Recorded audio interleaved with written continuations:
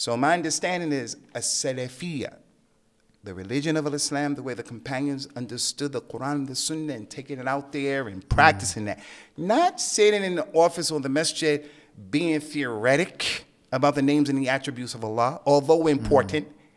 I don't understand Salafi is sitting in my masjid and I'm saying, I don't like Dr. Salman, but because he had this person on his broadcast and he had that one, and he, that's not my understanding. My understanding of Salafia is mm. making things right on all levels that you find yourself in as a Muslim and to give as much benefit to the people as you can, as the Prophet says, Khairukum anfa'akum linnas.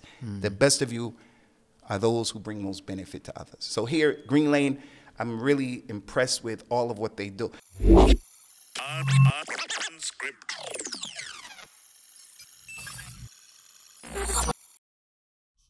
Assalamu alaikum, legends. We're in probably the most pious place we've ever done a podcast before. It's none other than the Green Lane Masjid in Birmingham Sharif. Uh, we're sitting with Sheikh Abu Osama al Dhahabi. It's been a long time overdue, and it was an amazing podcast. You've got a lot to look forward to, inshallah. We talk about social ills, we talk about racism, we talk about gang and uh, violence, we talk about Abu Osama himself, uh, his upbringing, his journey to knowledge, and so forth and a lot of good advice he would give to his younger self and the younger du'at and uh, imams coming out of the different universities and so forth now today. So just before we begin, just a reminder, please do click on the subscribe button below, hit the bell notification. Let's try and get 500 people to do that with this video, inshallah, because we've noticed that not many people have subscribed, many people are watching. So secondly, please do remember to donate. Let's try and get 250 people from this video to donate five pounds a month. It's not much. It's only 16 odd pence a day, I think. Uh, but you can do it. I believe in you. Assalamu alaikum and welcome to today's special in unscripted episode. We've come to a very special place, it's Green Lane Masjid in Birmingham Sharif, and we have a very special guest, the Imam here, Sheikh Abu Osama al-Dhahabi. Assalamu alaikum, Sheikh. Wa alaikum salam wa rahmatullah. My brother Salman, but Dr. Salman. How are you doing, Sheikh? Great, great Salman. It's been a while. We want, wanted to come and visit you. Alhamdulillah. I hope everything's doing well here. Everything runs in Allah's Yeah. time, but I want to say this. I'm really um, happy that you're here and we welcome you to our masjid here at Green Lane, you and your crew. Assalamu alaikum. Barakallahu. We've received a very gracious Birmingham welcome. Alhamdulillah. Although it was quite early, quite early, Yeah. mashallah. MashaAllah. Uh, this is the first time I've, uh, I think I've seen you since the passing away of Sheikh Ali Al Halabi, rahimahullah. So my condolences. I know he was your uh, an influential Sheikh and teacher, and uh, maybe you know um, if you wanted to mention a few things about how he affected you, and impacted you first. I mean, we want to get to know the real Sheikh Abu Osama Al Dhahabi, and it sounds like he was um, an influential figure in your life. Well, no doubt the Sheikh uh, Abu al-Harith, rahmatullah alayhi, was a tremendous um, personality um, and individual. Um, as I mentioned before, I've dealt with the passing away of close relatives. My grandmother on both sides, grandfather on both sides, aunties, aunt, aunties and uncles on both sides, my brother. But I was kind of young at that time, or I wasn't in America to deal with going to the funeral. Whereas with Sheikh Adi, it was the first time I had to deal with an adult who died that was very close to me. So it was quite uh, an experience. And I didn't expect you to open up with this particular question. So I kind of like, you know, you, you, you shook me a little bit. But one of the things that I try to do, Dr. B, is I try to uh, um, give dawah to the community, especially our shabab, about being uh, balanced. Sheikh Ali Al Halabi, for all of the love that I have for him, for all of what I perceive uh, uh, in terms of the good that he gave to the dawah in the UK, in America, in the West, and other places, for all of the uh, positive ideas, feelings that I have about him, that good opinion. He is not Allah and he's not Prophet Muhammad sallallahu alaihi wasallam. Life continues to go, and we learned that with the death of Ibrahim, the son of Rasulullah sallallahu alaihi wasallam. We cry, we become sad, but we only say that which is pleasing to Allah, and we just keep it moving. But uh, um, I appreciate you did mention him because I feel that he's done so much good for me personally and dawah here in the West and across the globe that it is really not just rhetoric. When I say that the Ummah of Islam has lost an integral, very important part of our academic ability because Sheikh was on another level academically and knowledge wise. Rahmatullah alayhi wa rahmatin wasi'ah. And I want to have to say this as well. You know, some of our brothers in different groups, jama'at, we go overboard in our personalities. This is a problem. So mm. we'll hear someone mention Sayyid Qutb for an example, Hassan al-Banna for an example, and we say rahimahumullah. Mm-hmm. But we don't say the shaheed because that guarantees that individual has a place in Jannah. We don't know if a person is shaheed, not shaheed. So hmm. I want to exemplify and show that same thing with the passing of Sheikh Ali. We can't have double standards. Hmm. Al Islam continues to go. Al Islam continues to move forward, hmm. with or without Sheikh Ali Al Halabi. I remember Dr. Salman when um, Michael Jackson was on the scene and he was using the Nation of Islam as security in the famous trial that he had. The Nation of Islam are not even Muslims. But anyway, point was, Muslims were saying in the Arab world, Michael Jackson has become a Muslim. Michael, Michael Ah, Jackson yeah. become a Muslim. I remember that. And then people went a step further. So he's going to be the mu'adhin. that comes as a result, I believe, colonization. Colonization in the mind and colonization of our lands, where we become so inferior in our complexes that we hmm. think we need the likes of Michael Jackson to be the mu'adhin. But if we looked at the books of fiqh of al-Islam, we would see, no, that's not going to happen if the re- Muslims were practicing religion because Yeah. the scholars of Islam had this issue, this mas'ala, who is getting more reward? The mu'adhin The or the imam. imam? Hmm. And they said that the mu'adhin, although some people said the imam. So my point is, superiority complexes, inferiority complexes are a problem. SubhanAllah. So you mentioned, uh, you just alluded to you that you were born and raised in the USA. Um, tell us more about your upbringing, if you if you don't mind. You know, so we can get to know who, because we've heard things here and there. Um, we've been in the Dawah scene a long time, mashallah. We've heard you. Uh, Yeah, I was born in America on the East Coast in New Jersey uh, to uh, Mamie Starr, my dad, Thomas Lee Lipscomb. Uh, two loving parents came from the South. Uh, their parents migrated to the North looking for better job opportunities, as many African American um, people did back in the uh, 50s, 60s, and even the 70s. And I uh, was in school there, and I had uh, to deal with a lot of issues. I don't want to get into all of that, but I didn't have the easiest life. But alhamdulillah, for the rahmah that Allah gave me two parents who were loving, nurturing, supportive, and uh, to this day, alhamdulillah, they have a lot of respect for El Islam, respect for me, and I also love and respect all of the efforts that they made for me while I was trying to navigate through the uh, nonsense of what we had to deal with in the community that I came from. I accepted Al Islam in 1986, alhamdulillah, and immediately went to Medina where I started to study the religion and I stayed for uh, eight years. What made you want to go to Medina in the first place? Um, that's a big, big step, uh, I would imagine. I think it, the main thing was uh, in my community, I saw Muslims. I saw Muslims who were from Pakistan, Afghanistan, Bangladesh, Palestine, Jordanians. And um, they were doing the usual things that we find in the inner city in America, in the big cities, New York and so forth and so on, Newark, New Jersey. They um, had um, stores where they were selling pork, uh, khamr, alcohol, things like that.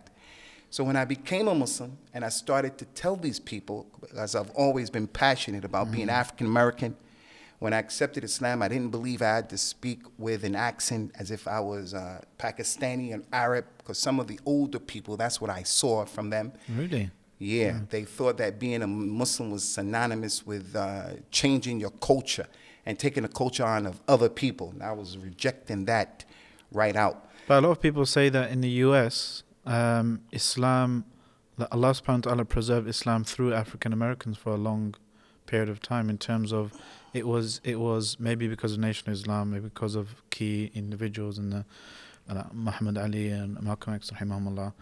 But Islam was seen as something kind of American already before the immigrants came, wasn't it? As for Allah preserved Al Islam with African Americans. I don't know. I guess how you look at it um, hmm. is going to determine where you stand on the spectrum. I think hmm. that African American Muslims definitely had something to do with the preservation of Al Islam. As for the Nation of Islam, Yeah. the Moorish Science Temple, and the people who are claiming to be Muslims but they're not Muslims, then how can mm-hmm. Islam be preserved by people who are not even Muslims? That's Yeah, like yeah. the academia right now. People studying in Yale and Harvard and these big universities, they're going to teach you and me proper Islam? No, they're going to mm -hmm. teach mm-hmm. some Islam, and there's benefit in that, but we're not going to change that with the classic, you know, um, yeah. reality.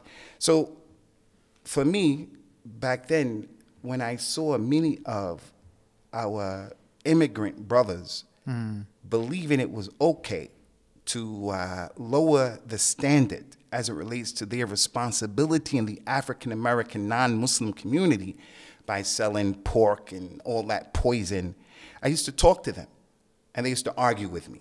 They used to argue with me, and I didn't have knowledge to argue back. That's one reason that hmm. you know inspired me to go to Medina. And another thing is I became Muslim with a group of African American people who I knew, although they meant good and they wanted to do good, they didn't have knowledge as well. And I'm a brand spanking new Muslim. And I mm-hmm. realized I was just at the mercy of all of the Muslims. I was like a piece of wind, a piece of paper flowing in the wind, just floating wherever the wind blew me. I made dua to Allah to please, please mm. open up a way where I can learn my religion so I can discern for myself how I'm going to be upon this journey, Dr. Salman. Don't forget to like, comment, and subscribe, and click that donate button too. MashaAllah. So you went to Medina, you spent eight years there. Uh, at what point did you come to? How did you end up in Birmingham? Uh, after going to Medina and graduating from Medina, I had my family in El Medina, and it was time to come back. Um, when we came back to America, I went uh, to my mother's place, and then I went to Florida, Orlando, Florida, where we started a community called Al Istiqama. To this very day, that is still one of the communities that uh, very close to my heart.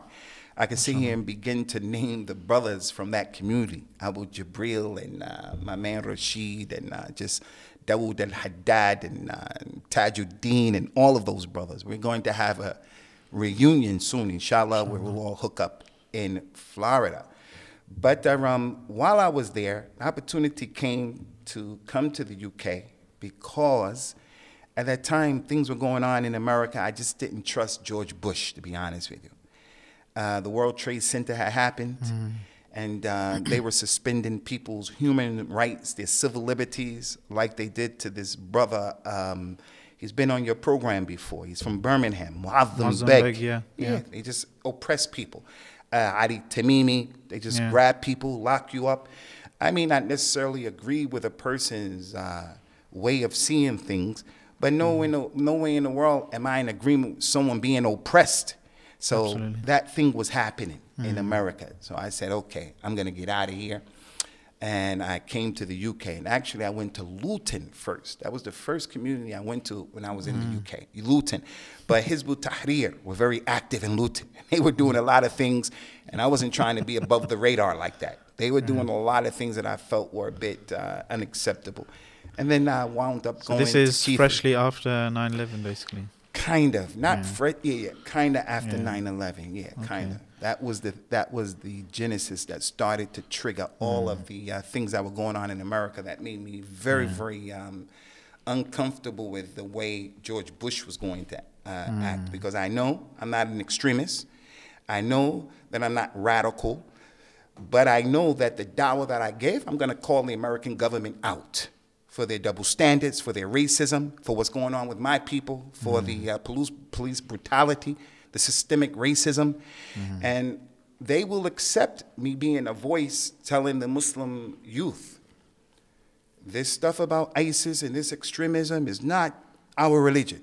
The government accept that. But then when you start seeing the other things, you mm-hmm. guys are, you know, hypocritical and you're on double standards, this is when you have a problem. That's So- how power operates. That's Yes, how it I mean, you mentioned brother. colonialism. You mentioned it's all part of the same kind of discourse, really, of of um, utilizing the Muslims to, you know, speak your message, but don't don't criticize us. Uh, And it's unfair, brother. Yeah. And I'm here to say that right now, Mm. out publicly. There are people who are making efforts to educate our community about the correct understanding of Islam without any apologies. Mm. Not talking out of the side of our necks for anyone about our religion. Mm. And then when the powers to be hear something that they don't deem is along the lines of their narrative, they come and they want to chop the legs from under the people who are being true and authentic to the reality of our religion. And re- really, our religion is not a religion, as you know, that's calling to indiscriminately hurt people, but we are calling for human rights. And we as Muslims have to be on the right side of the fence of that argument. And uh, we let the trips fall where they may. Mm, Alhamdulillah. So um, this is one thing I ask um, all the OGs that we have on the podcast, uh, not to call you old or anything, uh, but what advice would you give to your younger self? If you if you had to, uh, let's say, rewind twenty years, you got you got uh, you got a phone call from a twenty year old Abu Osama Dhahabi, you know, what would you say to him? I think it's really important, uh, Dr. Salman, for young people to have a level of humility Mm. and the ability to listen to what people who have tread the path have gained in the way of experience and knowledge. So when they turn back and they try to talk to you, you should disengage and relax and listen because you don't have to reinvent the wheel. so if It's a I, natural natural thing in life, you know. yeah, man, I read Uh, a really nice quote that uh, the moment you realize your father was right, you've got a son telling you you're wrong. that's it, brother. that's it. Because right now, in dealing with my own children, and that's what I processed when you asked me the question. I'm dealing with my own children. I'm trying to tell my sons, especially, hey, I know what time it is. You see this watch? I'm not talking about the time of the watch. I know what time it is out there in the streets and in the world. I've been around the block. Not only was I around the block, I used to kind of own the block. So I try to tell my sons, don't think I'm Frank Sausage Head and I don't know what time it is. But no matter what I say, they kind of think you're old school because you don't know about algorithms. so I just think young people need to just pump their brakes and slow down because although I don't know about algorithm, algorithms, algorithms are quite old uh, as well. I know what time it is, you know. So if I were to give advice to a young version of Abu Sama, I would say just that. Relax, pump your brakes, take it easy. You don't have all of the answers. There are people out here who have tread this path before you. Listen, learn, and uh, comprehend. Is that the same advice you give to young kind of graduates, young tulab ilm that come out of the uh, universities and stuff and take the positions as imams and stuff? Yeah, absolutely, absolutely. And I'm, I'm I'm happy to say, you know, with the younger brothers learning in uh, the different Islamic universities uh, across the globe, I have a good relationship with the vast majority of them. Uh, only one from amongst them who's getting his master's. I think he received his master's. He's the most complicated and difficult personality that I ever met in Dawa. So we're going to put him on the side. But with the other brothers, with the other brothers, um, I'm really impressed with the Noria, you know, the type of brothers we have coming up. Some of them, yeah, very young, pumped up, ready to go out there, refute, do this, do that. It's just it's a learning curve. And we just have to pull those brothers in and breathe on them and say, yes, refuting is our, from our religion, and we're going to refute when we should refute, how we should refute, and the person who needs to be refuted, looking at all of the dynamics of the situation. So, yeah, that's one of my advices to the brothers to take it easy and to slow down. And that message usually, Dr. B, resonates with uh, those brothers, mashallah. MashaAllah. MashaAllah. Um, so we're in Green Lane Masjid, and Green Lane Masjid is, you know, uh, well known for doing lots of community projects that perhaps um, a lot of other masajid might not, you know, uh, engage in o- other than the the core masjid activities? You know, the prayers, the Jum'ah, the, the madrasa, and so forth. They have issues where they have programs where they, mashallah, um, uh, engage with the community, try and uh, address some common social ills. Uh, the brother he was showing me around, uh, brother Kam- Kamran, mashallah, he was saying, you know, they're even opening up a domestic violence kind of bureau soon, mashallah. So, um, is that something that attracted you to Green Lane? Is that something you uh, you feel is important for the imams, for Tulab Ilm to get involved in? Uh, or is this something that, you know, you find yourself, my area is here, and mashallah, the different projects are happening, and, but this is my area here? Absolutely, Dr. B. Um, I'm, I'm thoroughly impressed with the platform that Green Lane has created for itself. The ideal case scenario for me, Doctor, would be to go back to America to be in a community like Green Lane to address the issues of the African American community, my people. Like the prophets and the messengers used to come in the Quran and they used to say, Ya qawmi ibudullah. I want to go to my people, African Americans, mm. to help them in their situation. So I'm working towards that. Inshallah, when it happens, it happens. But until that time, in the meantime, in between time, I'm mm. here in Green Lane. And one of the things that I love about Green Lane is that when I started working with Green Lane from Keighley, I was living in Keighley mm-hmm. in West Yorkshire, where the Yorkshire Ripper was, where sheep and cows outnumber the people. I was the only black in the community, so to speak, when I used to walk around. But I had good relationships. The, been in, the BNP are up there. Wow. But I love that place. It's home for me. My community were Mirpuris. Every time I went home from a Dawa trip, came back to the country, and I was driving from Bradford to Yeah. Keighley, I said, I'm home. To this day, I still love those people. While I was there, the brothers from Green Lane invited me. I started doing a class every Tuesday, and that's when I was exposed to what was going on in Green Lane. And year after year, they had vision, and they just continued to do better and get better and better. Until now, they are dealing with and addressing issues locally, nationally, internationally, globally. So in two, three more days, we're about to go to Lebanon, inshallah, to distribute some uh, winterization for our Muslim brothers who are affected by what's going on in Syria. They hmm. deal with the Syrians, with refugees in Lebanon, Pakistan, uh, Pakistan Palestine, hmm. Kashmir, Yemen. So my understanding is a Salafiyah, the religion of Islam, the way the companions understood the Quran and the Sunnah and taking it out there and hmm. practicing that. Not sitting in the office or the masjid being theoretic about the names and the attributes of Allah, although important. I don't understand Salafi is sitting in my masjid and I'm saying, I don't like Dr. Salman, but because he had this person on his broadcast and he had that one, and he, that's not my understanding.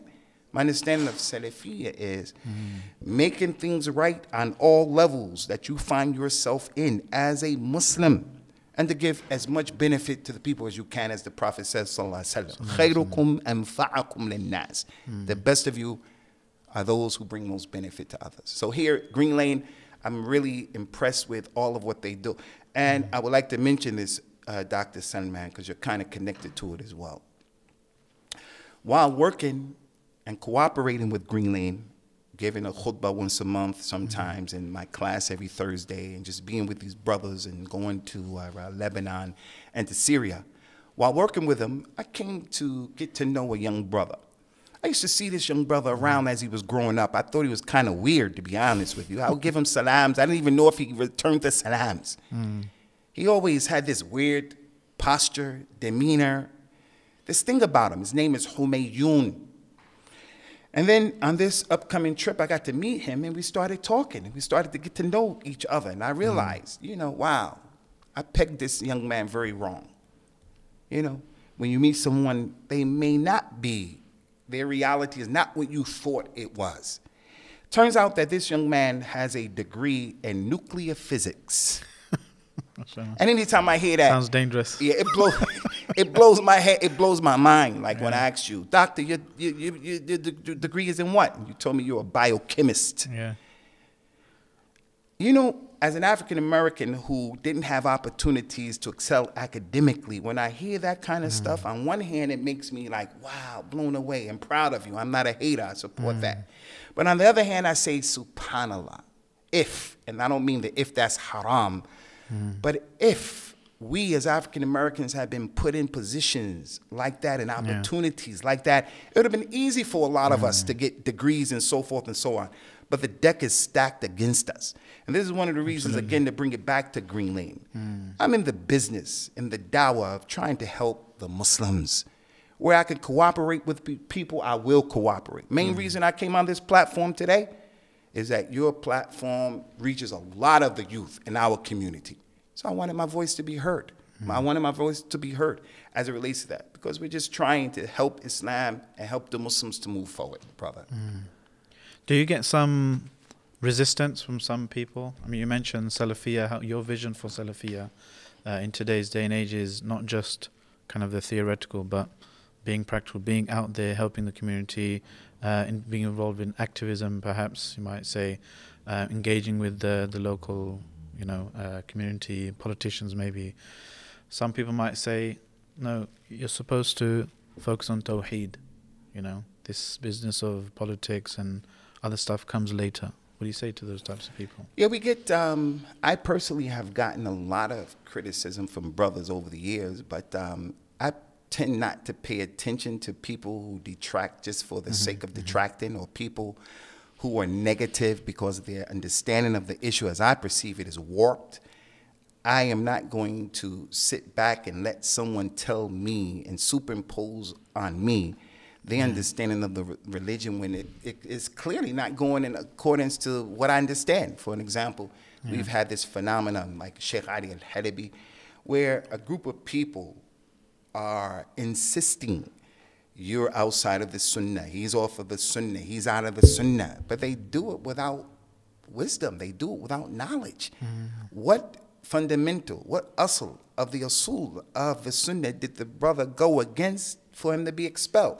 So when I see people who are just, you know, playing games like that, that really doesn't uh, affect me and doesn't slow me down. The Arabs say, al-qafilatu tamdi wal-kilabu tanbahu the caravan with the with the with the um, camels in it. You have a caravan of 30, 40 camels. They're going, and the dogs come in the desert and they start barking, start barking at the caravan. Not a single camel is going to start to stop and say, "Hey, dog, you what's the deal? You just got to let him go. Keep it moving. Hey, hey, hey, you do your thing, and I'm not paying attention to you." Mm. So the people who want to criticize, and that's all they do is mm. criticize. I personally don't have time for that.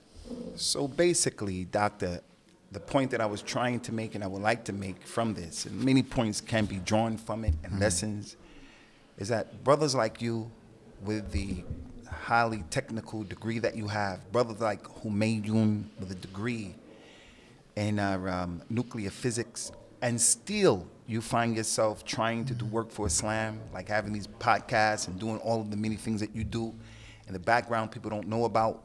That brother spending his time in Green Lane Masjid trying to organize getting, you know, winterization to Muslims across, across the globe. I would just like to encourage all of the younger Muslims and brothers, the brothers and sisters to understand wherever you find yourself, your degree, your profession, whatever you do, you have to find some majal, some opportunity where you're mm. going to give dawah a lot to help the religion. That's the point that I wanted to make.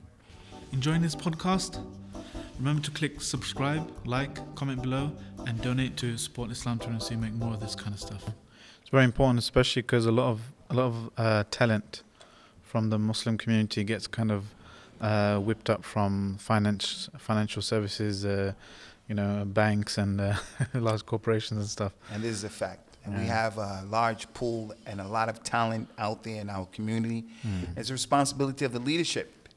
And leadership doesn't only mean imams and so forth. So on. It's people running the masjid. It's those people who are, you know, in the field of academia. It's the responsibility of the Muslim leadership to uh, expose these talented uh, young people and to get behind them, mentor them, keep them uh, moving forward, inshallah. Yeah, and, and also kind of the bridging that entertain uh, uh, attainment gap, the educational attainment gap as well, helping communities that have been historically systemically disadvantaged. You mentioned African Americans, for example, in the U.S., and over here, no doubt, there's many, many uh, kind of uh, systemically disadvantaged communities. That that's something we need to to work towards as well. No doubt. Yeah. So on a personal level, I just want to let you know, brother to brother, I'm uh, super proud of your accomplishments academically, brother. Keep up the good work, doctor. Barakallah Uh, so you, we talked about Green Lane Masjid, and mashallah, it's it's kind of um, uh, sad to say uniqueness. Uh, even though more mas- masajid should be doing uh, something similar, in that it kind of um, uh, works with the community on many different uh, social issues uh, and, and, and, and outreach projects and so forth. What would you say are the kind of um, most concerning or the kind of most common social ills um, in the wider community that you, you feel that uh, we should be I thinking think about? the demographics of Small Heath, where Green Lane is located, and with Birmingham being the second largest city in this country, and the dynamics that that brings to the table, and that a lot of the first generation, second generation uh, Muslims who came from overseas settled here in Birmingham. We have a lot of antisociable behavior, knife crime, gang crime. We have uh, drugs. Um, and all of those issues are issues that Green Lane is trying to tackle in one shape, form, or fashion or another. Green I was Lane- surprised to see a knife bank Yeah, just knife bank. It used to be odd. really, really um, like um, hot, and there was a Mm. big push for it. But with COVID, things have slowed down. But uh, we felt it was the, the, the administration in Green Lane felt, people Mm. who are running the program felt, we have to have our feet on the ground to address the issues Mm. that are, you know, um, our community are, have to confront. So the knife crime issue, the uh, antisociable behavior we see from many of the Muslims here, the gang culture, we had quite a few Muslims uh, murdered at the hands of other Muslims. So we have to do something about that. We have uh, this issue of uh, single parent homes. In most instances, it's the mother who's raising a child by herself. So we've come up with uh, different uh, initiatives where children who are having different problems adjusting in school, in society, they come to the masjid with children similar to them, and we give them a mentor who understands what they're going through, just to uh, make the kids feel like uh, they have someone or some people who are there to support them. So this is the thing that I love about this masjid, Salman. This whole thing about us going out and just addressing the different challenges in our community. I was used to be the imam uh, for the last four years in Liverpool, in Masjid al-Rahma, which is the biggest masjid there. I love that city. It was a nice mm. opportunity. But we had some segments of the community who were insisting that the khutbah is in Arabic. We had some segments of the community who were insisting that we run things as if we're back in the Middle East. And what mm. part of the Middle East? The poorest country in the Middle East. I can say if you wanted to replicate one of the rich countries in the Middle East where there's infrastructure, okay, but they want us to replicate the poorest, most broken down structure in the Middle East because that's where they come from. And we had a lot of things to do, but we had to waste a lot of time fighting and clashing with this mentality. We are no longer in our countries where we come from, and we're not second class citizens. We have to exercise our rights and be proud to be Muslims and uh, citizens of this country. And they've given us rights that are, um, if we call them out on them, they'll give us our rights, inshallah. Do you think uh, it's because of a more deep seated crisis of identity that they want to hold on to these things? Or I think it's a plethora of things, and I think that's one of the dynamics. I also believe it's a, um, it has a lot to do with uh, education or lack thereof. When you come from a country where people did not put a lot of emphasis on education, when you get an opportunity, take advantage of education, mm. you squander the opportunity. I would think, without knowing anything about your parents, that they had a lot to do with pushing you until you got that degree, supporting you and creating an, an environment for you to mm. get your degree. So if someone comes into a situation where they don't look at it and they don't conceive the mm-hmm. importance of the, situation, nothing's going to happen. Mm.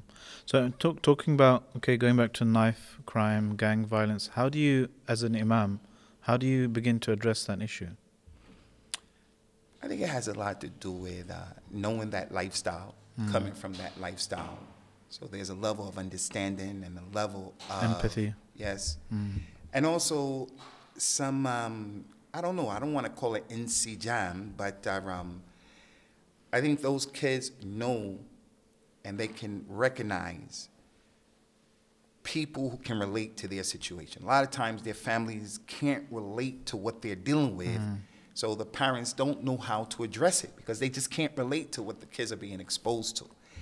In my case, this was part and parcel the upbringing that I was exposed to, the environment that I came up in.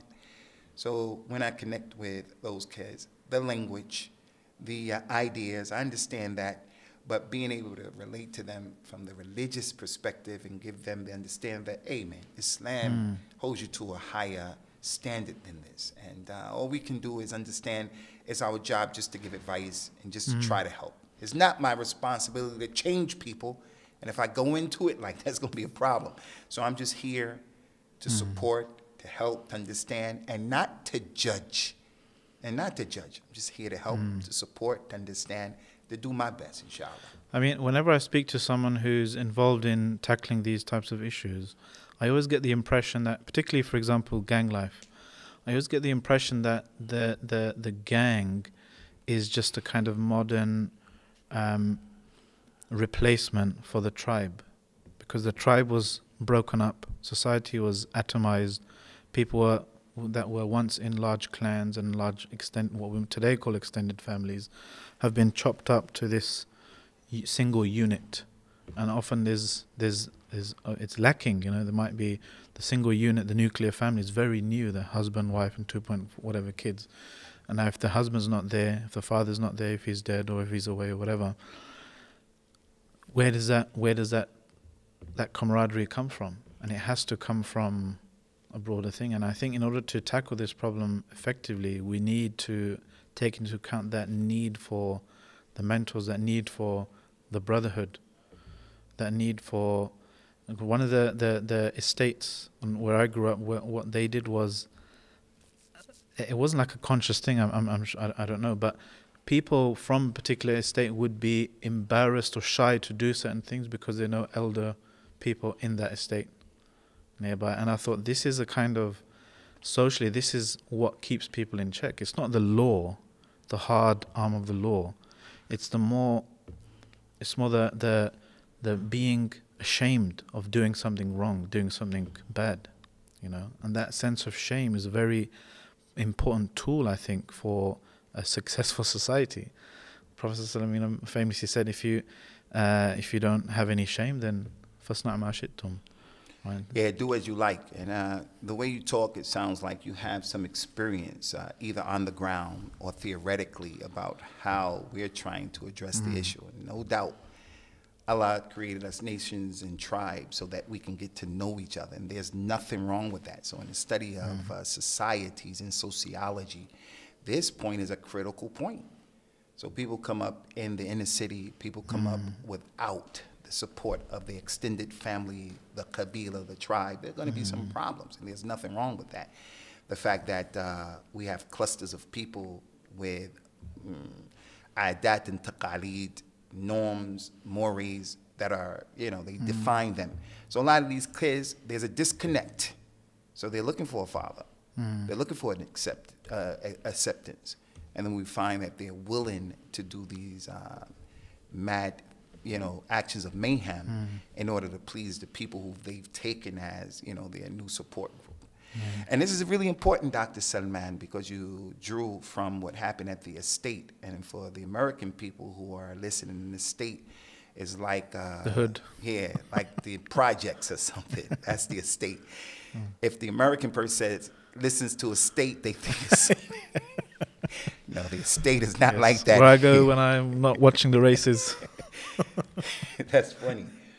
But uh, um, we are, um, we just think that it's important. I have to make this point that in the masjid, if we're going to make the masjid very cultural, where we bring an imam saab from the country where we come from, we originate from, he doesn't speak English, he doesn't know the culture, he can't relate to this kid, then we as Muslims, as communities, we're shooting ourselves in the foot, so to speak. Mm-hmm. We have to get imams who can understand the reality of what we're living right here. And that means he's going to be balanced, he's going to be knowledgeable, and he's not going to be a person mm-hmm. who is apologetic, and he can give a khutbah and instruction to the community that, you know, we can use. That is mm-hmm. the day that we're living in right now. We're not living in those days where we just bring someone and offer him peanuts as a salary, and we bring him from the old school, from the old country, and he can't relate to any of us. Yeah. I, as an African American here in the UK, I want to go into a masjid, talk to the imam that I can relate to. I don't want to go into a masjid and the imam looks at me as if, you know, he can see right through me and I can't even begin to communicate with him. Mm. So these are some of the new age responsibilities that our community we have Yeah. in moving forward. So on, on on the topic of social ills, then, do you think um, do you think racism is something? Uh, what's your experience of racism amongst the Muslim community?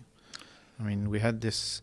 Uh, eh, you know, it, it was briefly on our news radar with the with the, the killing of the murder of George Floyd, for example. The, the BLM Black Lives Matter was as a as a slogan. It was, you know, it was uh, dominating our news agenda, and people were forced to uh, get to grips with and, and, and talk about anti-black racism. Um, what's been your experience? Do you think that's something that is, is what's the trajectory? Is it going up? Is it down? Going down? Well, your- first I can say it's never going to go down. At least right now, it's not going down. And what they are catching uh, in the way of um, people filming these incidents, that's just you know the tip tiny of the amount. Yeah. iceberg. Uh, as I sit before you, these teeth that are missing in my head came. This incident came as a result of police brutality. Had nothing to do with me. And this is just what you can see. It's the tip of the iceberg. When they try to destroy my kidney and my liver by beating me in my back, that, you can't see that. So for me, I believe that uh, Black Lives Matter, not hashtag Black Lives Matter. I don't buy into the ethos and the mandate of that group, but Black Lives do matter. I take that to a degree as well, uh, Dr. Salman, but observing corona. Do you believe in corona? Because I met some Muslims who say, no, there's no corona. You know, conspiracy theorists, they say no. But in dealing with corona, and I wear my mask outside, I only wear a black mask. MashaAllah. Black Lives Matter. Meaning what? I want the world to be sensitive to hmm. the police brutality that we have to deal with. I'm going to be going back to America soon, inshallah, to Queens, New hmm. York, bi'idhnillah. Then go see my mother. Bi'idhnillah. Every time I go back there, I have to mentally prepare myself for what can happen. It's a real thing. It's not something a figment of my imagination. And now, I'm you, now you've got a double issue, Muslim and black. Exactly. Two strikes against you. And that's mm. my understanding of yes, Black Lives mm. Matter. When I go to court, I'm a Muslim. When I go to court, I'm African American. Hmm. So before the judge even comes in and the man says, All rise, I got two strikes against me. Now, when they say all rise, I say, well, I'm not standing up for the judge because, you know, in our religion, we don't stand up for people. So I got three strikes against me already, and we didn't even begin the process yet. Hmm. So, as a Muslim, that goes to show me I have to be on top of my religion, knowledge wise, and I have to deal with the reality on the ground. Not some book that I read. Sheikh al-Islam ibn Taymiyyah said this, said that, and that's all beautiful. But how does that kalam translate to me getting on with my life and navigating through all of these uh, minefields that are in front of me? So, so it, it's a challenge, brother. So as it relates to the racism in America, America was built upon racism. It is built on racism. So for mm-hmm. me, when it comes to Biden or Trump being the uh, president, f- for me, for me, it's all the same. It's a choice. Do you want to get bit, bitten by the leopard or the cheetah? Do you want to get attacked by the lion or the hyena? That's how I look at it. And if someone comes mm. and says, "But the vice president is African American woman," I say, "Yep." And the president before her, prior to Trump, was African American. Mm. And he bombed more Muslims in the world than anyone in history. For kind of matter. But at the same time, I don't want to take that position and that opinion that we don't get involved in politics and things mm. like that. We get involved in a way that's religious and Islamic. Don't forget to like, comment, and subscribe. Yeah, I mean, representation is a whole other kettle of fish, you know. You, th- you can have a, a brown person or a black person or a whatever person, but are they representing that interest or are they just there to, as a token kind of gesture to, to perpetuate a, a system of white supremacy? And that's the nature of politics, Dr. Mm. B. You know, the people who are proponents of the position, let's not get involved in politics. Let's just do what the mm. Prophet did, sallallahu alaihi wasallam. And he's sincere in saying that. I believe that formula can work. Mm-hmm. And it has a point of view. Because now, too many examples can be given where a person says, look at Fulan and look at Alan. He became the mayor. Yeah. He became a senator. They became this, they became that. In America, two years ago, there were some freshman senators, and they were shaking things up. Somali lady, another lady, she was um, Latino, and a Palestinian lady. They were shaking things up in the Senate, talking about racism, mm-hmm. lack of equality, a lot of issues. They were very articulate, very strong. I was impressed with them. Mm. But the nature of politics is that you have to jump in bed with the pig. And you have to wallow around in the mud with the pig. This is a reality. So those same women, they had to mm. go and march for the LBGT parades and things mm. like that. So we just have to have a level, level of maturity and uh, level of understanding just to know how to deal with these issues and a level of tolerance. Yeah. My coming here, I want to be tolerant. You have a platform where our youngsters listen. Does that mean you agree with everything I say? I agree. No. But we have to have a level of tolerance where we can work and uh, communicate to help what's you know in the best interest of our ummah. Speaking of uh, speaking of that, I mean, Birmingham has I don't know rightly or wrongly, it's always had a bit of a uh, re- a, a, a reputation of being where you get the the kind of most um, uh, maybe zealous kind of you know uh, people of all the groups. You know the the the Barelwis, the Deobandis, the Salafis, the uh, I don't know about HT, but all of these kind of I don't know if it's something in the water in Birmingham or I don't know, brother, but I've noticed that as well. do you, do you think it, things are changing? Are things getting uh, better? Do you think the unity is uh, among uh, camaraderie and the brotherhood? I don't believe Muslims? so. I think, unfortunately, I'm sad to say that Muslims are stuck on stupid as it relates to the unity issue. All we need to do, I believe, and I don't want to oversimplify this because I'll tell you, I am not going to unify and I'm not going to cooperate with someone who curses Aisha, Abu Bakr and Umar. Now, if there's an individual who doesn't know what he's saying, and I sit down and talk to him and try to raise his level of consciousness, and he insists on staying that way, then I'll cut him off. But hmm. the point is, there's a religious responsibility that we have as a community, as an ummah, to learn the basics of our religion because there are things that allow us to be unified on, even with these non Muslims here in Birmingham. Mm.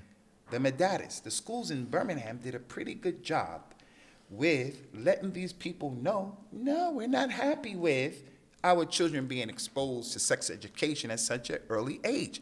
And the Muslims cooperated with non Muslims in that regard. Mm. Bab al ola, even more so, we should be able to cooperate with our Muslim brothers. But again, I think just the Muslim community just has to come back to the source. And the source is we all have to understand Islam the correct way. And the correct way isn't to say everything that Abu Usamah sees as being correct, you have to do that. Correct way is my way. Yeah, no. we have to take our religion from the correct sources. Hmm. Those books that we love, those imams that we love, and take Islam like that without adding into the religion what we can't find any proof for. The hocus pocus Islam, whatever it happens to be. As for our cultures, stick to your cultures as long as they don't conflict with the religion. So, as a Pakistani brother, African American, I will never see eye to eye with you just on the strength of we come from two diverse places. But the religion gives us one God, one Rasul, sallallahu alaihi wasallam, one Kitab, one Qibla, one Salah. And this is where mm-hmm. we get the correct understanding and application of unity. As for a slogan, mm-hmm. unity, unity. And this one over here believes he doesn't have to do any good deeds because Iman is in his heart. And that one's cursing companions. And that one wants to kill you and me and my mm-hmm. mother and my father because he wants to establish the Khilafah. We're going to say, no, can't be united with this kind of Birmingham confusion. is more extreme than I thought. Brother, Birmingham is extreme, brother. I will say that. I went to mm. America a few years ago. I had a discussion. We had a roundtable discussion with some of the mm-hmm. du'at, and I just remained quiet. My brother Shadid Muhammad looked at me and said, Sheikh, mm. why are you so quiet? I said, because, man, I haven't been in America for 15 years or so. I don't, what you guys are talking about, your kids are not in the masjid, that's not our reality in the UK. In the UK, we just prayed. Our kids are in the masjid. Mm. Our kids are going to lessons. Our kids are praying. Our kids are in the masjid. But we have this issue with the kids that are in the masjid feel disenfranchised and they want to take matters in their own hands, and the government doesn't help to mm. quail that emotion that they have. Mm. So our kids are in the masjid, but we have to disarm them, cool them out, get them to understand what our religion is saying, that uh, now is mm. not the time to be anything other than prudent, mature, and in control of our uqul. So, in terms of the, the different kind of masajid and the different um, schools of thought and, and, and, and Muslim groups and jama'at, would you say the, the cooperation and, and unity between them is increasing, decreasing? I don't want to be pessimistic because the Muslim uh, by nature should be optimistic, but I don't also I also don't want to be a liar because the Muslim should be truthful, especially to himself. And this bab of cooperation, I think many of the people who are teaching and the people who are practicing, students and the teachers, have a responsibility that we have created hizbiyah between ourselves. I uh, was contacted by someone, and I'm going to say this, uh, doctor, because you know I have love for you personally. I was telling someone I had a busy day today. I have to do this, this, that, that. I'm going to go to Syria. I have to do this, this, that. I mean, I'm going to go to Lebanon. Yeah, you should say Lebanon I'm instead. going to go to Lebanon to help the refugees of Syria and so so I have to do this, do that. And I have the brothers from 21st century. The brothers, oh, that this, that, this, that, that. I said, really? Well, to let you know, I met Dr. Butts before. You remember we did that Yeah, program yeah, in uh, London by the bridge in that hotel. That was the first Yeah. time that I met you. And I was explaining to the brother, you know, with that type of mentality that you have, it would prevent us from getting to know each other. The way it was with Humayun in Green Lane. I didn't know him until I started chopping it up with him, sitting to talk to him, as mm. opposed to having preconceived notions. He's Brawi, he's Salafi, he's Jamaat al-Islami, he's mm. Sufi, and automatically we just don't deal with each other. That's not our religion. So we have people who are teaching and people who are practicing, they are stoking the flames for this mm. nonsense. And for our youngsters who don't have the experience, the knowledge, the courage to go against that current, a lot of mm-hmm. times it gets swept up into the hizbiyah. But as you get mm-hmm. older, you start to think for yourself. You start to realize, mm-hmm. man, I don't have to exist in this box that's been created for me. And that's not to say, Dr. Salman, that we're so liberal and free that we're just going to do anything and everything mm. according to our whims. No, we get knowledge of the religion and we cooperate with our brothers in the best way possible, man. تعاونوا على البر والتقوى. Exactly. Cooperate on al-bir and al-taqwa. Obeying Allah and righteousness. Simple. Do you think? So I still don't know. Do, are, are you, uh, is it getting worse? Is it getting better? I Are think you, it's you're worse, optimistic. man. I think it's worse. It's the why, same why or is it getting? worse. Why is it getting worse? As Allah said in the Quran, كل حزب بما لديهم Mm. Every group is just happy with what it has, happy with what it has. And no single group out there, I'm Salafi. Salafis as a group of people don't have all the answers. What happened with the brothers who were connected mm. to uh, Sheikh Haytham al Haddad, and you were one of those brothers, mm. where you brothers took the media to account for the defamation that they were saying. And because he had a team of professionals around him in different professional fields, we were able, I said we, I wasn't there. We. We were able to win. Mm. I told some du'at at that time who wanted to refute a Sheikh Haytham al Haddad. If he deserves to be refuted, I say refute with adab, with respect, with knowledge, with justice. That's our religion. I'm not saying mm. anyone is beyond being refuted, but look at all the issues. The point here is when he won, we won. It makes the government, it makes the newspaper, the media realize if you do this again, this may happen to you again. Hmm. So as you get mature, you're able to see that and appreciate that. When you're young, you listen to what I'm saying right now, and all you understand is I'm watering down the dawah. I'm watering down the dawah. Well, you stay in the corner with that understanding because you're free to do that. But we have to do work out here. And in doing the work out here, we're going to come across people who are not thinking the same that way that we're thinking, whether they're Muslims or non-Muslims. So I don't say bend the rules.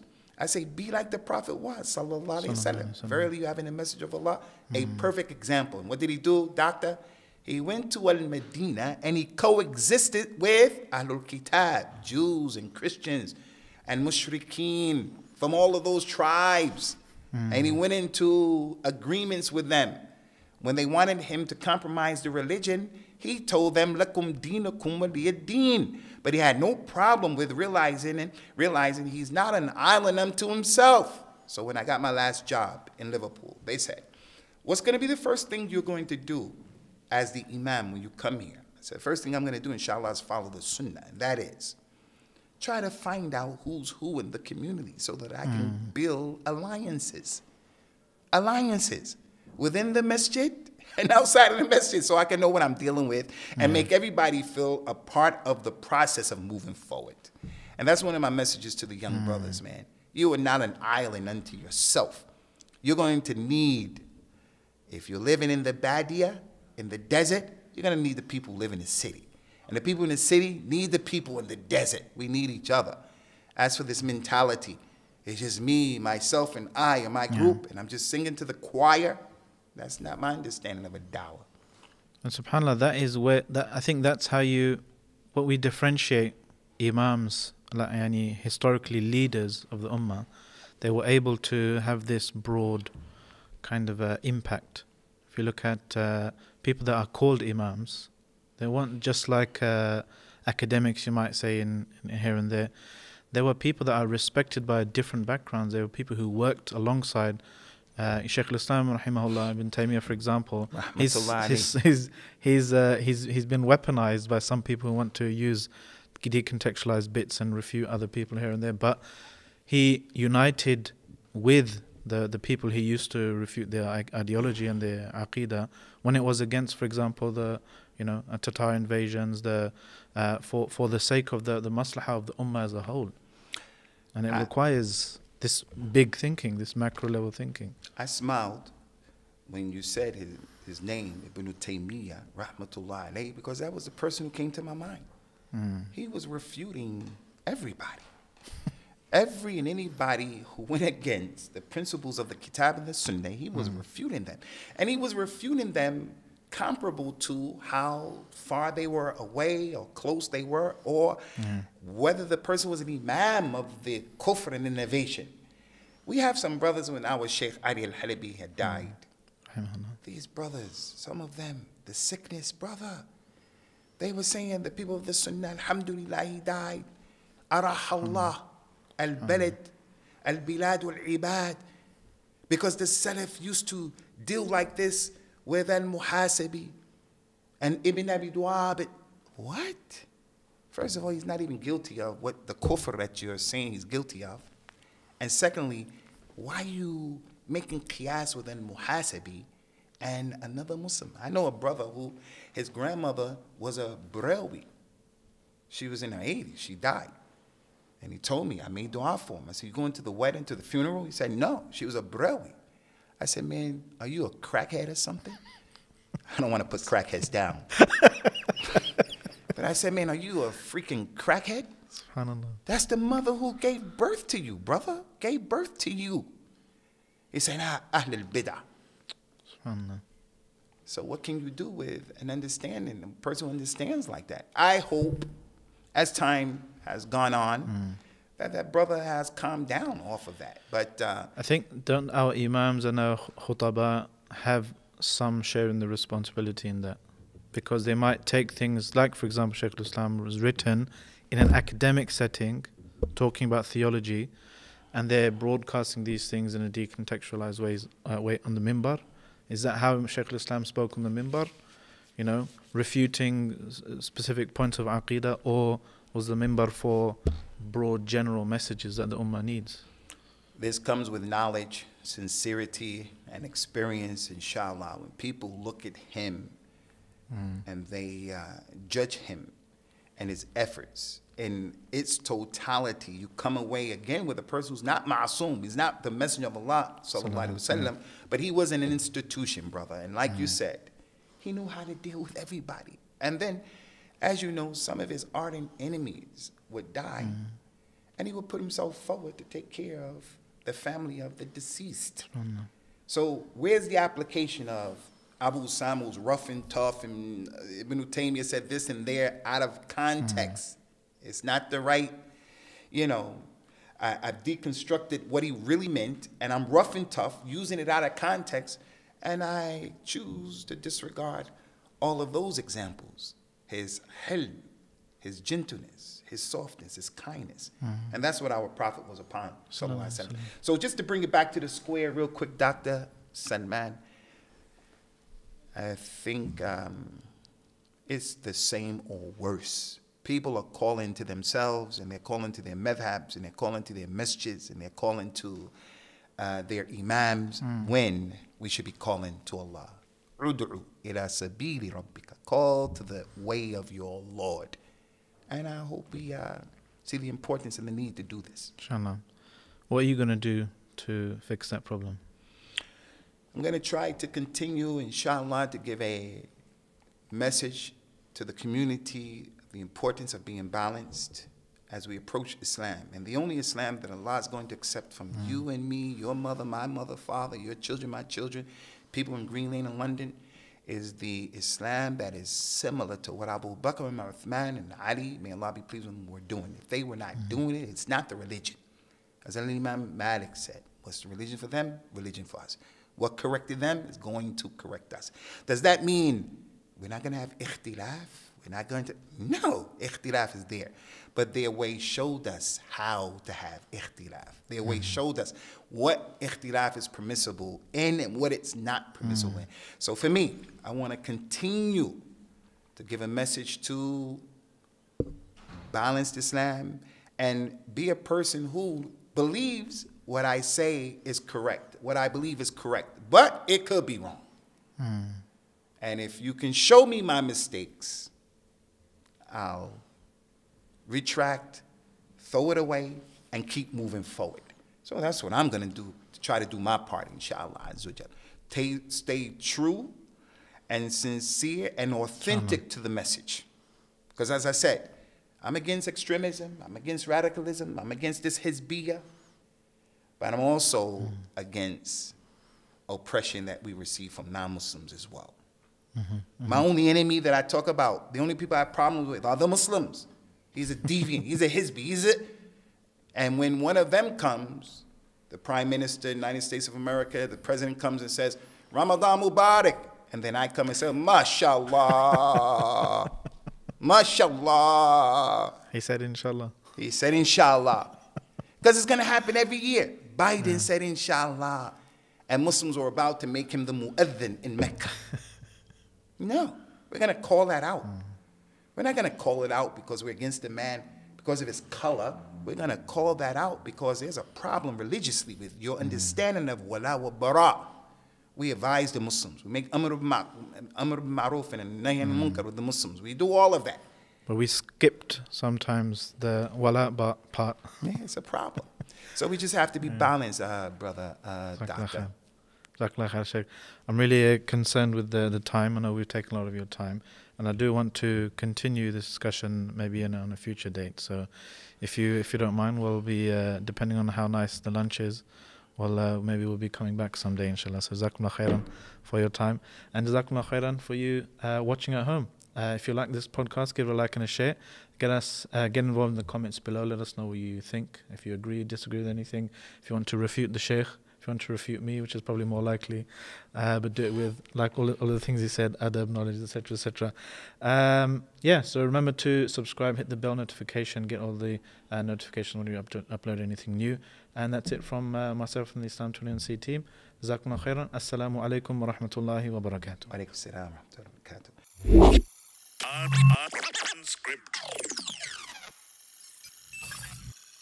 barakatuh.